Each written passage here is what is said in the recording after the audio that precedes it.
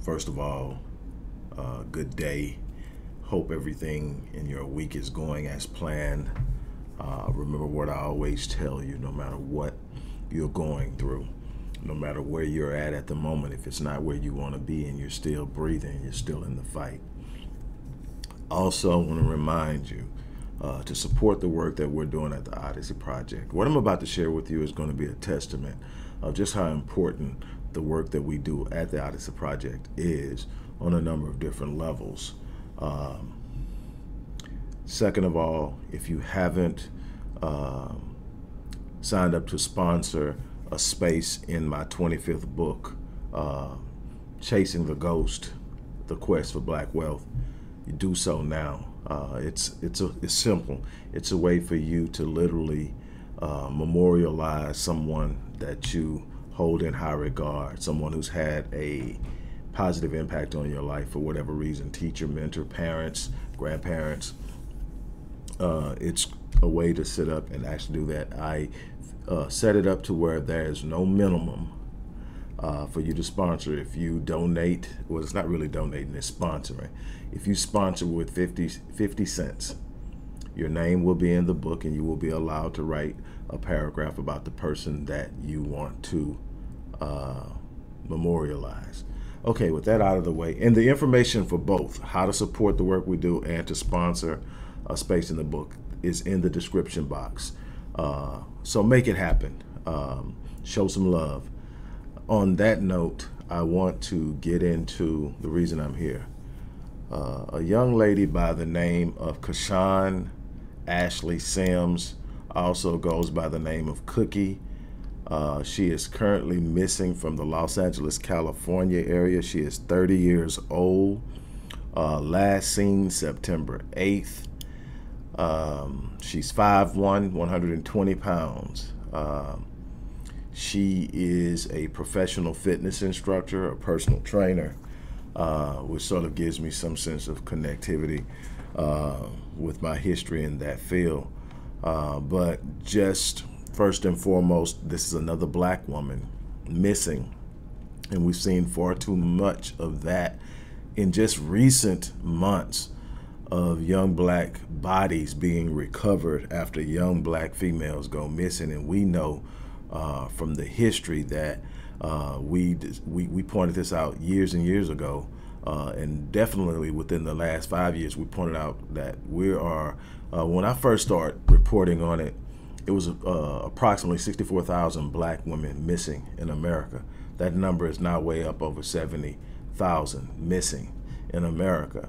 Um, it's a very silent uh, narrative, a very silent cry. Now, the reason that I am talking about this now is for a number of reasons. I get literally four or five of these a day that comes across my page, and I share them uh, and I ask for uh, information.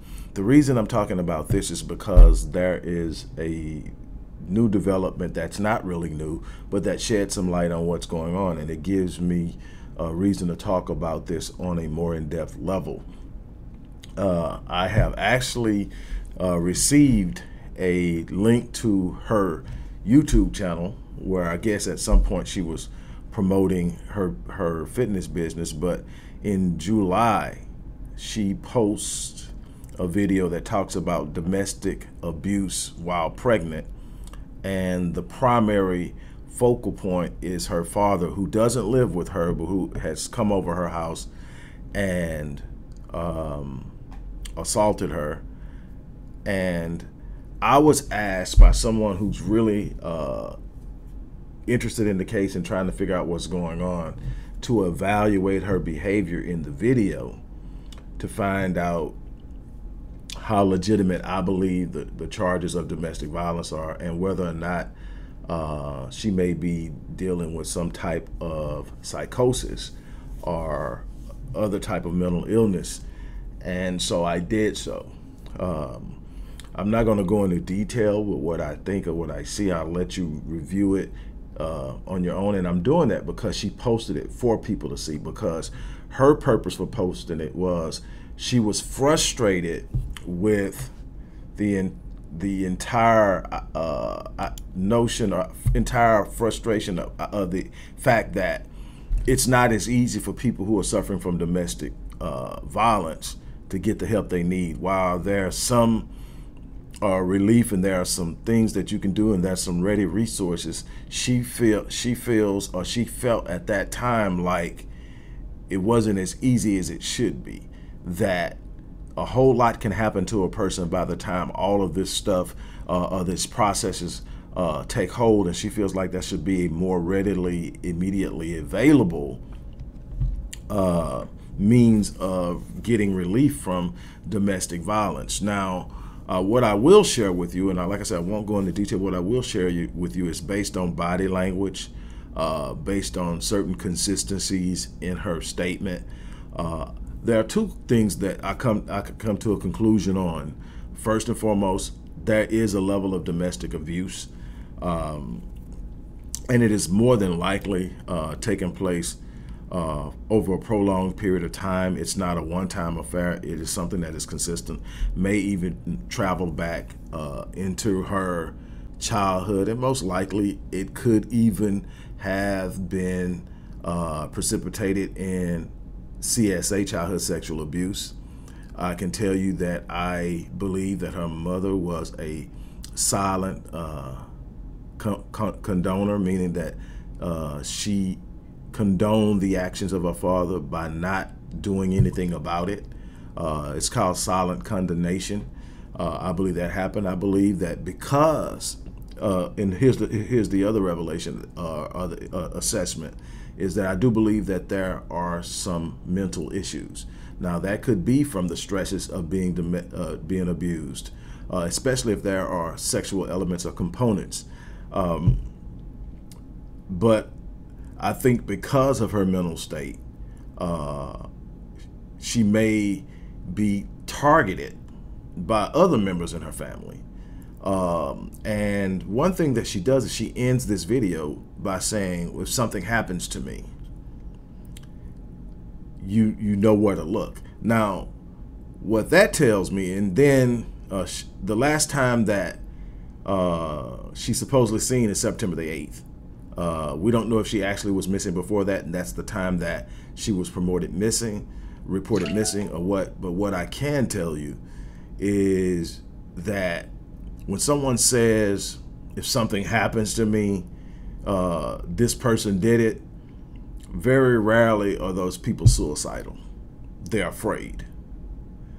Uh, and so uh, there's always exceptions to the rule, but very rarely are those people suicidal. When a person is telling you, hey, look, if something happens to me, you know, they are afraid and, and, and they're reaching out. They may not know how to reach out. They may not be the best person. And a lot of times their uh, behavior can be counterproductive or seem destructive, but they're fighting from where they're at. Not where you're at, not from your area of expertise, not from your mental state, but from where they're at. And that's something you always have to remember when we're talking about victims. Victims are operating from their particular experiences. They're operating from how they're living their life. And if they have been traumatized, then they are dealing with a bunch because now you're putting new uh, traumatic episodes on top of traumatic memories.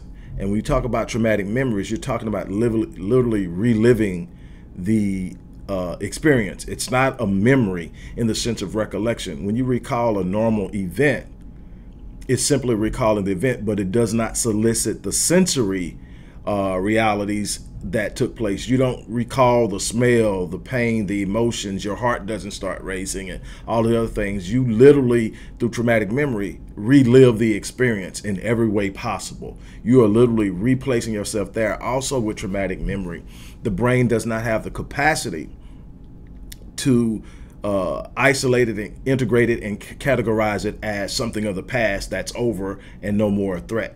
It's literally your body and your brain is literally responding to the recollection as if it's still a reality and still a threat. Uh, and so it's also a possibility that there's complex trauma. Uh, PTSD is normally from one experience, something that was so traumatic that it traumatized you, a horrible accident, uh, you know, being a part of a mass shooting, watching planes uh, fly into uh, the twin uh, the twin towers. Those are traumatic uh, events, uh, and you can end up with PTSD. Complex trauma is the stacking of trauma, multiple events, and it's likely that she's dealing with that. The reason I wanted to talk with you guys is first of all, somebody knows something. So I want you guys to really truly share this. I want you to share this, um, and, and, and especially if you know somebody in the Los Angeles area, share this. Somebody knows something. And my concerns are huge because she's been missing for such a long time. We're pushing on an entire month that she's been missing, and that doesn't bode well. But here, this is why I want to share it with you as well. We have a problem with both areas that are of concern to me by watching this video, which you'll get to see in a moment. The first thing is we have a problem with domestic abuse that we don't like to talk about. Uh, domestic abuse in the sense of uh, physical violence, domestic abuse in the sense of neglect and emotional uh, violence, domestic abuse in the sense of sexual violence. And it's the elephant in the room that I've talked about so often that we love to sweep under the rug. I told you this before that um, in the early 2000s, uh, when I was doing work, um, it was a point to where it felt like every black woman and some black men, I want to be clear on that. This is not just a black female thing. This is a black male thing, but black women, the rate at which it happens is absolutely unbelievable. Um, it, it, it was almost like every woman who had ever been uh, abused as a child, sexually abused as a child, was coming to me. I'm like, you know, like, am I the the mecca of you know of recovering or, or, or CSA uh, survivors? You know, eventually my wife makes her way to me. Uh, you know, some years down the line, but my wife, who is also a survivor, uh, makes her way to me. And initially, she was a client, and then we worked together. She moved on, and then I, I made up my mind when I, I was working with my wife that at some point I was going to marry her. I knew that wasn't the time. I knew she still had healing. I knew I had some growing, uh, but I knew. And when she came back around, I, I snatched up. Uh, it's a little side note. Me and my wife never dated. I mean, I worked with her. I learned the kind of heart she had. I learned the type of person she was. I did everything I could to help her. I sent her on her way to finish her journey. Uh, what she had to do a year later, she popped back up, and within a week, I told her I wanted to spend the rest of my life with her, and I snatched up. Our first date was after we were married. Um, just a little side note. But back to uh, this situation. So I had to call a couple of other colleagues, and I'm like, hey, dude, is it me, or is every freaking black woman in America been abused? He said, he says, no, man, I got the same phenomenon. If you go deep enough, if you peel those layers back, if you go deep enough and you develop the trust with your with your client and you go back deep enough, it comes up. And I don't do leading questions. I don't say, did somebody do this to you? Never a question I ask. I don't ask that because you can plant seeds. I ask, questions that are open. Well, talk to me about this. Well, what happened then and what happened?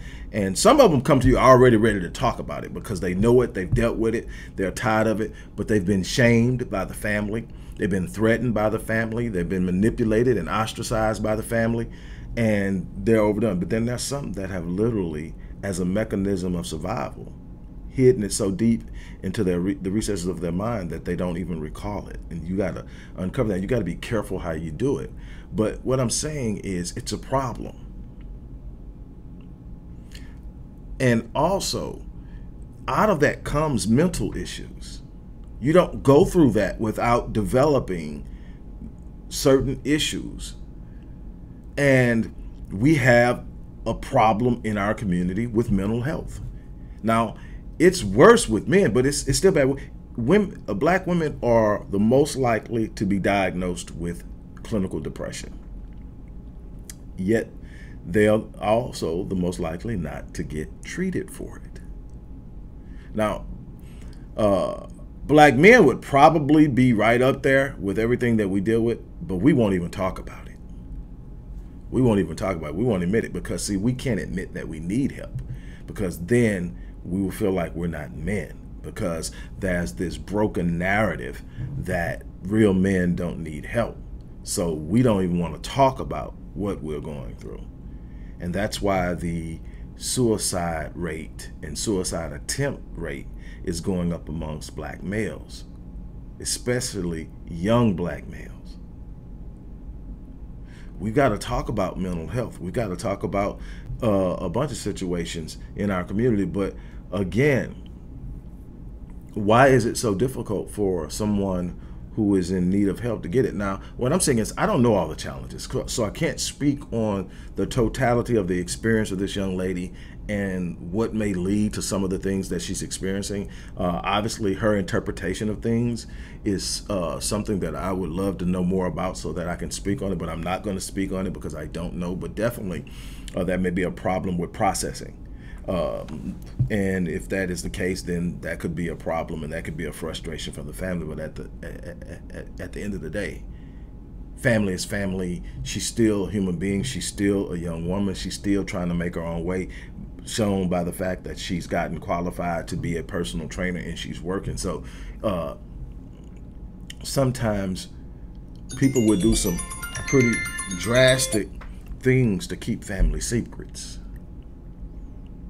just something to think about.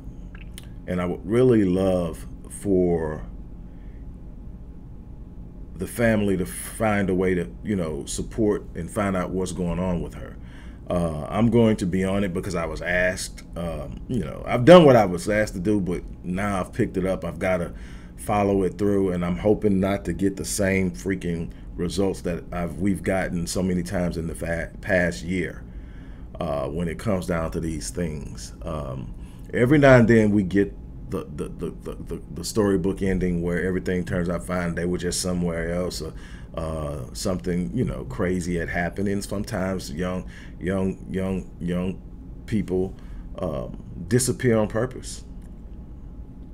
Good or bad, don't want to be bothered, or running away from something or whatever, and they pop back up. You know, uh, might be mad at them. The family might be mad at them, but they're alive. Unfortunately, that's not the norm. And I'm really hoping, I'm praying um, that uh, this baby is found. And I know some people out there get upset when I call grown women babies. That's that's that's something personal on their end they need to deal with.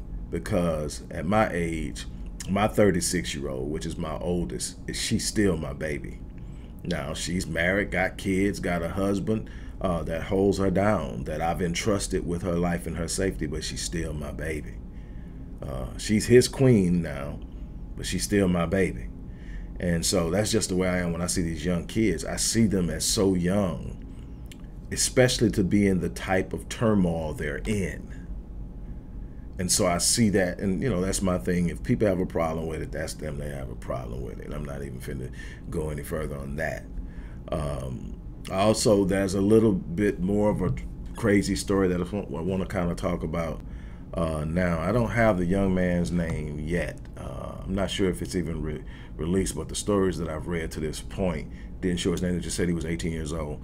Uh, I'm pretty sure by now you heard that there was a school shooting in the Arlington area, which is between Dallas and Fort Worth. And um, that the uh, alleged, and I'm gonna use alleged uh, because they would do it for a white kid. Uh, the alleged uh, shooter is an 18 year old black boy. And what they didn't tell in the initial uh, recounts of what happened is this wasn't your traditional shooting.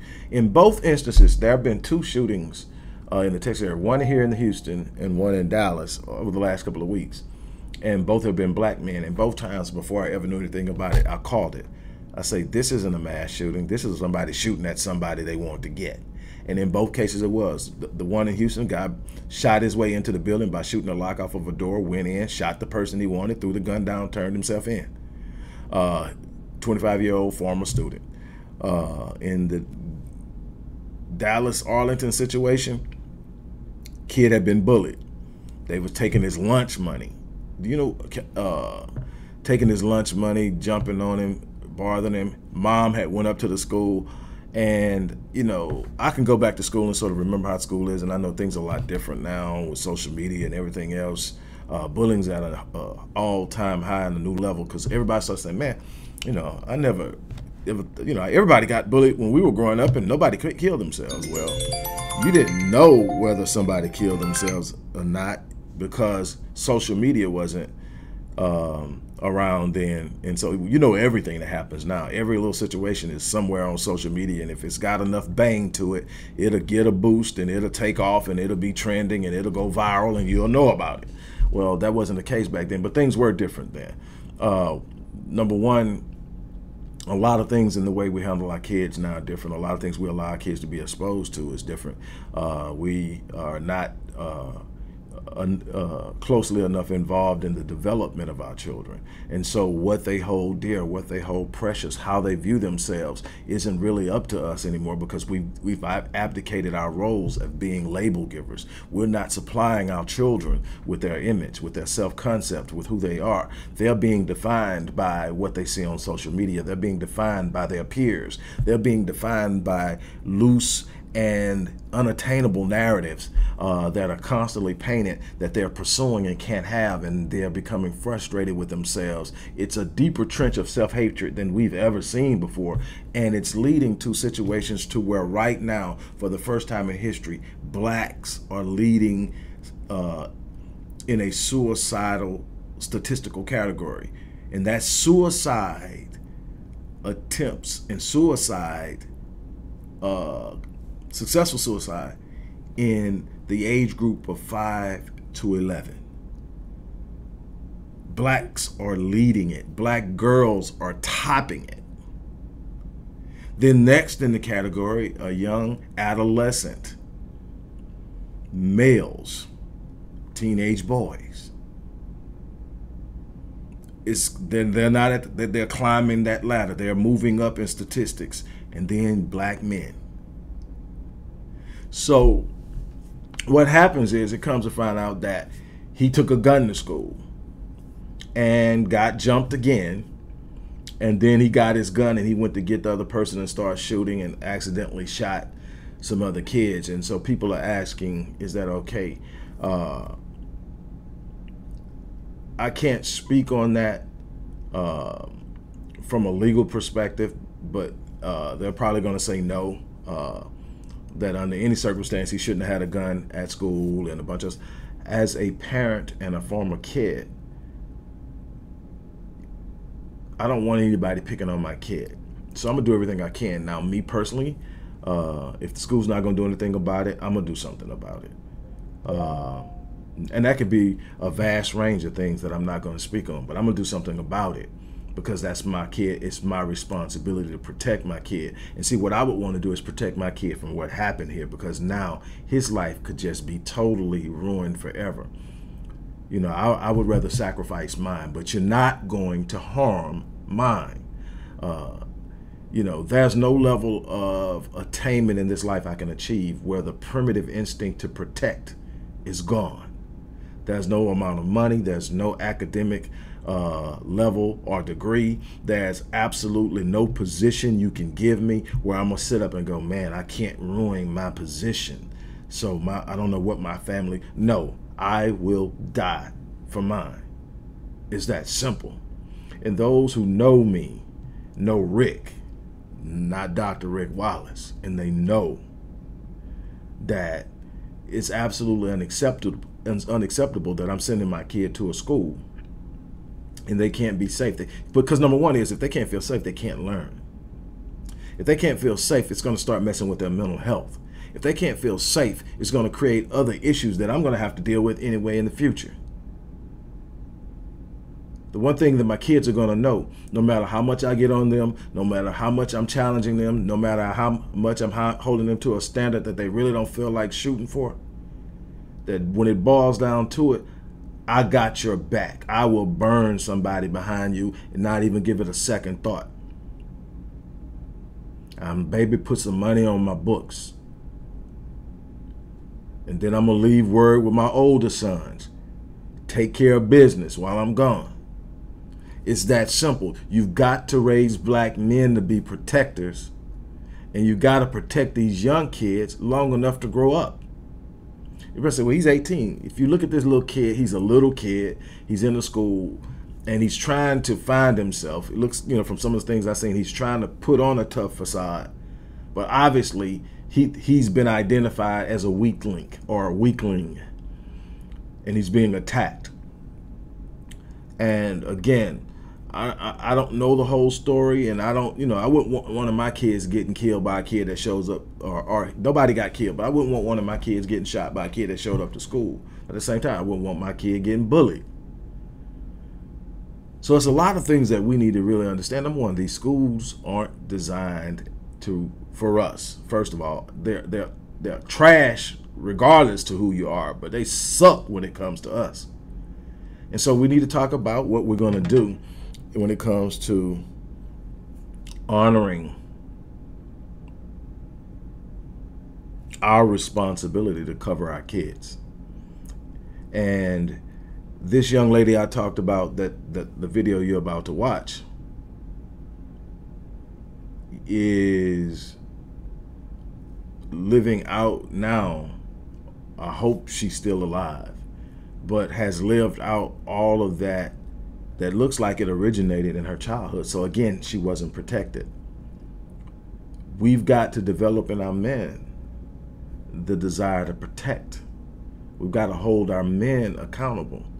We got to hold our women accountable for being so hooked up in the need for a man that will allow a man to harm their their their their, their, their offspring, even if it's the biological father.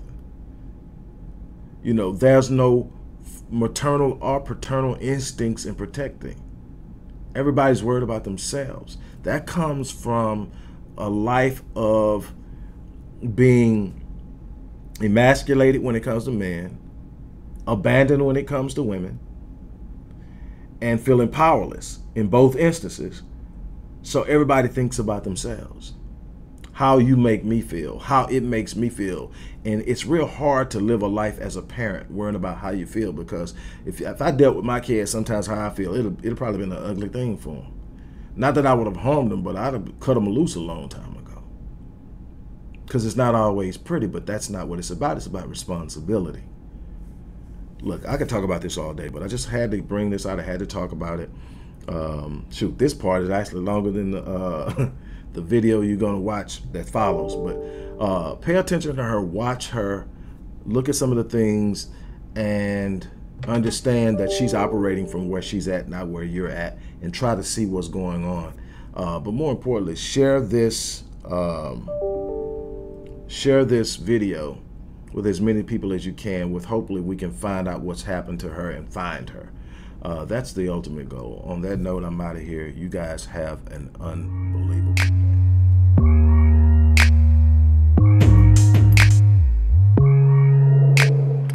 Okay, so this really isn't a video that I truly wanted to record, but it's currently my life. So, um,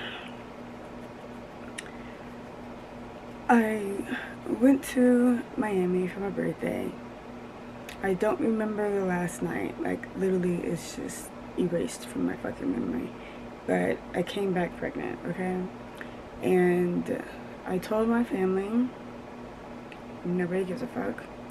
Um, and in result, like, I told my mom she didn't do anything um, and then they have been, they purposely put something in the living room and in the AC vents to cause me to have allergic reactions. So every single time I step out my room, I'm literally having allergic reaction.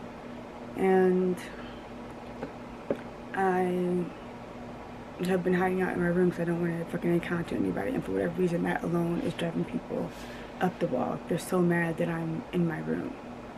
So they're doing shit to get me to come out of my room to interact with them. And then when I don't give them anything, they bring my parents into it and then my dad gets abusive. So I don't even know what the fuck happened for my dad to come over the last time. But he popped up mad about God knows fucking what. And it was before 4th of July. And uh, attacked me, like literally the day before 4th of July. Like smashed my head and now all that shit. My mom was sitting right there, didn't do a fucking thing. Am I surprised? No. So, because I've been getting abused by him. Like, it started when I was 16. He hasn't done, and she literally has done nothing about it. He's put our family through fucking everything a man could possibly do to women and a family. And she's stayed right the fuck there and is so excited and boasts about that stupid ass relationship. So, that happened. And then literally it was seconds before I told him I was pregnant. He didn't believe me. Was still aggressive and then fucking started crying of nowhere and got up and left. Then the next day he showed up to bring me food for 4th of July. And like almost was like trying to step into my room happy as fuck like we were gonna have a conversation. I grabbed the food, said thank you, and closed it on his face. Cause like, did you forget what the fuck you did yesterday? And this entire time, for the last three months, I'm three months pregnant. The last three months, everyone's trying to convince me that I have mental issues, but there's text messages of him boosting me up and telling me that I can be the best entrepreneur that this family has seen, and then he's coming over and fucking abusing me it's just like everyone's trying to convince me that I have mental issues, but literally everyone in my family is truly acting fucking mental. Like truly acting fucking mental. So then yesterday, again, there's something in the fucking common area that they have done like sprayed. It literally smells like so strange. And um they put in the common area and uh, there's a roach that they have left on the table like I'm supposed to give a fuck or care. I don't eat at that fucking table, so I don't give a fuck that that roach is there. I don't give a fuck that y'all have sprayed whatever the fuck it is you sprayed. I need to go into the kitchen, make my food, and come back into my motherfucking room. So everyone's doing everything they can to get me to acknowledge that stupid ass roach, and it's just like, y'all acknowledge it. The fuck are you like? Leave me alone. It's like it's literally all I've been wanting this entire time is for my entire family to leave me the fuck alone because they're fucking wild and crazy and weird. So he comes over. Oh, I open the window because I'm trying to let it air out because it literally is absolutely absurd and ridiculous.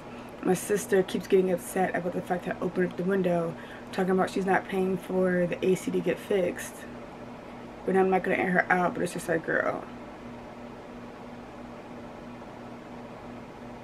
okay?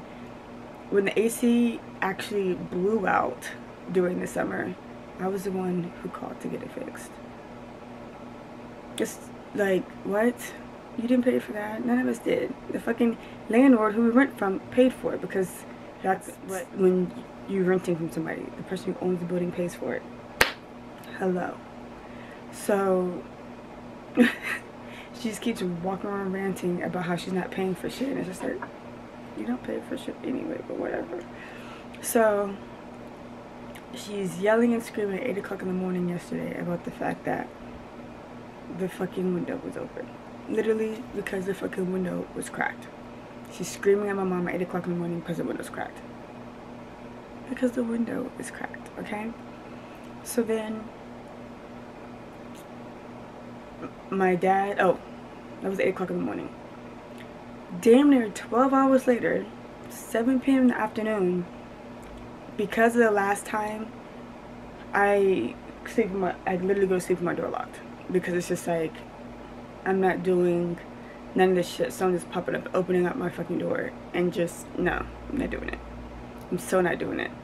Because last time when he popped up with the food, for one, the time before that, popped up and just opened up my door. It's just like, I'm here. It's like, nigga, you don't live here. The fuck you just popping up in the fucking house and just opening up the fucking doors for it? So, yeah, and then on uh, 4th of July, going back real quick, 4th of July, I mean, um, yeah, 4th of July, I just knocked at the door and I was just like, what? Because it's like at this point, I'm, I've already been abused. I'm not talking to my sisters. Like, so she's like, who's not gonna want to do it and for what? I was like, what? I'm not gonna do it. What? The door opens and I'm sitting, I literally was laying down right here on my pregnancy pillow. And literally was laying down. And I sit up, my room is dark, and I have the TV on, she's like from TV. The door opens, I turn around, I was just like, I'm naked, can you close the door? And he's just standing there like peeping in. Why the fuck are you standing there peeping in my fucking room I'm sitting here naked? So I tell him to close the door. I put my robe on, this exact robe. I open the door because it's like, what the fuck do you want? You just came over here and physically attacked me yesterday. I brought you some food. So we're not going to acknowledge what the fuck happened yesterday. Got it. So, that was the last time we spoke. I haven't spoken to him since 4th of July. It is July 29th. I haven't talked to him the whole fucking month. Pops up yesterday, angry as fuck, about the fucking window being open in the morning. I got up at 6 o'clock in the morning one time. It was like 6, almost 7. And I opened up the door. I let my dog go out use the restroom. And when she came back in, like she walked or whatever, came back in, I left the door open because I'm like, my first appointment is at 8. I'll close the door when my first appointment happens, but this place needs to air out. And the morning air is the coolest. Cold air helps de like disinfect shit. So before 8 o'clock happens, my sister gets up, to the dog out, and closes the door. It's like, okay, whatever, now the door is closed. These motherfuckers go and lie and say that I left the door open all night. When did I ever leave the door open all night? I opened the door when I got up in the morning to get some food at 7 o'clock in the morning. The door was open for less than an hour. And everyone's talking about I'm lying. You know, y'all's comprehension skills are fucking off. Y'all going back fucking lying, getting this man the fuck to hype up, and guess what? I'm the one getting physically abused about it. And y'all want me to give a fuck about y'all's feelings. No. So he comes over. I already know we, we're not talking. I already know what the fuck's happening. When I hear the knock on the door, I was just like, who is it?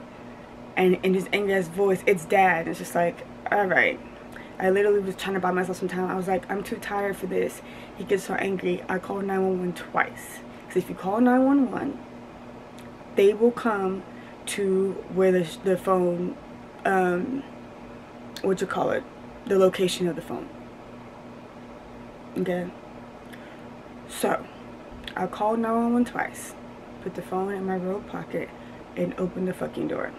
Open the door, they're mad at the fact that my dog ran the fuck out, yelling at me to put the dog up. And just standing in my doorway, standing in my doorway right there, standing right there, in my doorway. And then it's getting mad that I don't want to step outside of my door. It's like, I already know what the fuck's about to happen. Who willingly wants to step into a domestic violence situation? Nobody, especially when last time I saw you, I told you I was pregnant. And you didn't give a fuck then. So that makes you think you're gonna give a fuck now. You're not, but you did. So, aggressive as fuck, literally pulling me around fucking everywhere, pushing me into the table, threatening me with the 1800 fucking alcohol bottle, punching me in the face, like literally my whole face on this side. My whole face right here on this side, you can see. It's swollen. Like, it's swollen. All of this right here is swollen. I got punched right here. Okay? Then he gripped my fucking head, like to take my bonnet off. My hair, I just braided it. It was flat. You could see all the fucking frizz when he pulled the fucking, like, look at my hair. My hair looks fucking crazy. So, like I was saying, literally physically attacked me. Then, um, in the mid, the middle of the fucking argument, the cops showed up, thank God, to stop the fucking abuse. And there's a whole debacle. So I'm sitting down, literally sitting down. Cops coming in and out of the fucking house. He's sitting outside explaining stories back to fucking Thanksgiving. Back to Thanksgiving, upset at my reaction to a friend popping up for my birthday. Like, literally just shit that a female would whine and complain about. It's just like, but you're a grown man in your 50s. The fuck do you care about how my reaction was for somebody popping up? And you don't know this. I was actually vlogging, so my entire reactions on there and what was happening before, which had me fucking silent as fuck, is explained in the video. So, literally, my sister came in thinking it's about to stop this video. It's not, because after the whole situation, she left with her dog. My mom left. Again, didn't do anything. And then he left. And before he left, with the cop sitting right there, you know we're done, right? I am assuming so. I told you I was pregnant, you didn't do anything. Literally, I'm on the ground. He's on top of me. On top of me. On top of me. He's at 200 something pounds. I am barely 100 pounds. On top of me. And you're going to sit here and say, I hope you know we're done, right? The cops were called. I would hope we would be done.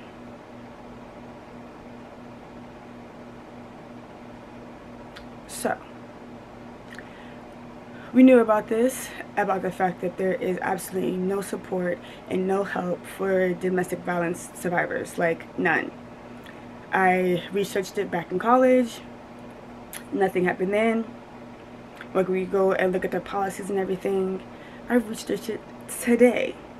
You call the police station, they have you call the courthouse, they have you call domestic violence hotline, and everybody just sends you in loops and sends you in circles. So, the point of this video is one to truly acknowledge the fact that you guys have already known have talked about talked about it before.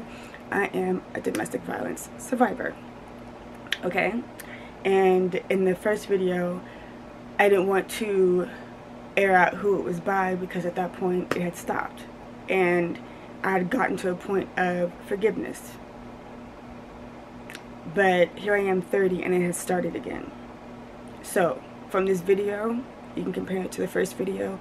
We all know now who it is. Okay? Two, there has got to be something done that truly protects domestic violence survivors. Because there's nothing done. There's nothing. In the middle of a situation when the cops are called, you're up your way explaining what the fuck's happening, making sure you're still safe because the, the person's still there. You forget to ask about or do any research about an emergency protective order. So then when you call the police station, they tell you you have to call the courthouse. When you call the courthouse, they tell you to call the police station. They literally just send you in a bunch of circles and loops. And it's just like, yeah, but my life is at risk. Same with my baby. Okay?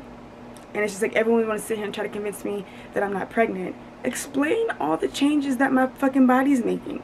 I literally have a fucking baby bump and I will insert all the fucking pictures here. My hips are growing. Literally my body is sore. Right now my body is sore for multiple reasons. My body was sore yesterday. So fucking sore because literally my hips are growing. My ribs are expanding. Like there's literally parts where you can literally see them extrude, like protruding out of my fucking body because my ribs are expanding. My hips are fucking growing. I have pictures and fucking videos. Like Explain that to me. Explain my body going through those fucking changes. Okay? So, my body was sore yesterday because of that. Literally, my fucking knees are doing the pregnancy kneecap thing. And if you know from, if you've ever been pregnant, pregnant, what the fuck I'm talking about. My like literally everything about my body has changed. I've had the heat flashes. I've had the vertigo. I think that's what it's called, a vertigo, whatever it is, like when the rim spooning and all that shit. I've had that. Like the increasing of peeing, the hunger, all of it. The nausea, I've had it fucking all. Y'all want to convince me what the fuck's going on with my body. And y'all don't even know y'all's own body or know your motherfucking self. And you're going to try to tell me about me. Okay. So there needs to be something there needs to be something done. Because if someone's calling in fear of their fucking life about being fucking attacked and the cops have already came out, what are you doing to protect them? Nothing. Literally nothing. Literally nothing. They just send you in a bunch of circles. Like, my whole body right now is so antagonizingly sore outside the fact that it's growing from the fact that I'm having a fucking child. My body's sore because I literally was tossed, pulled, and thrown to the ground by a grown ass man who claims to be my fucking father. And sat on top of me. And threatened me with a fucking bottle. And got mad when I went to walk out of my own fucking front door. Like, and then my sister now is walking around turning on her fucking taser. I have a taser too. I will call the cops.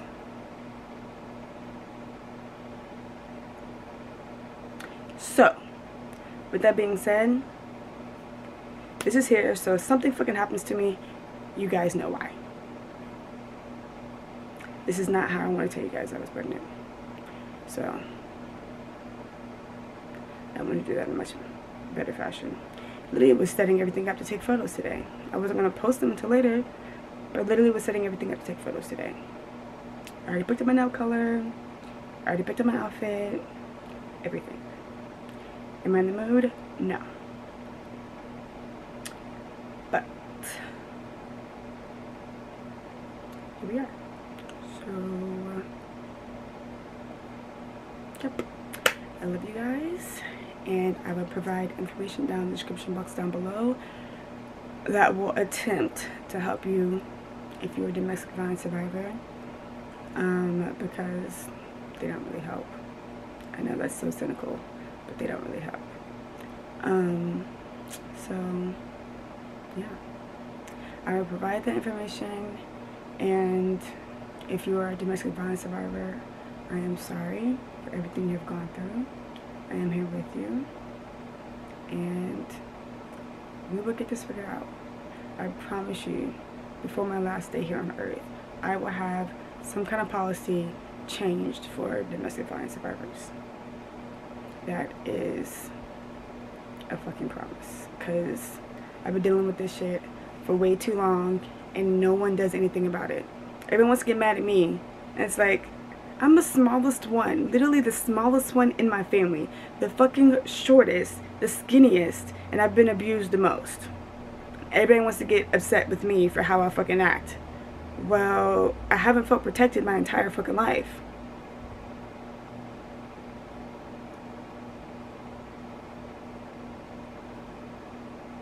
Like, huh? Huh? Everything I've built, I've built by myself with no help.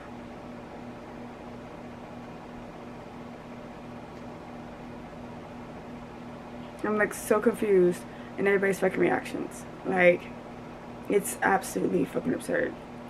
It is truly, truly, truly absurd. But that is my video and yeah I also know for a fact my phone is hacked and I'm being monitored. My ex who I haven't even fucking talked to in I don't know how long has my location. How? Because I didn't send it to him. Right. So yeah every single time I start vlogging if someone's at the house, as soon as I start vlogging, they come back. So, yep. And uh, that's all I have to say. So, I will see you guys in the next video. Yeah, yeah.